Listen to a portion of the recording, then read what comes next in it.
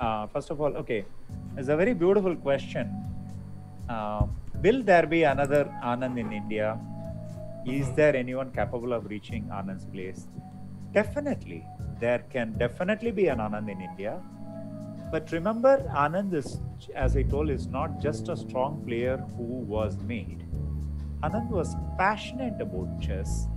Anand was a guy who had an amazing brain capacity, And thirst also. Thirst, memory. It's a combination of many, many things.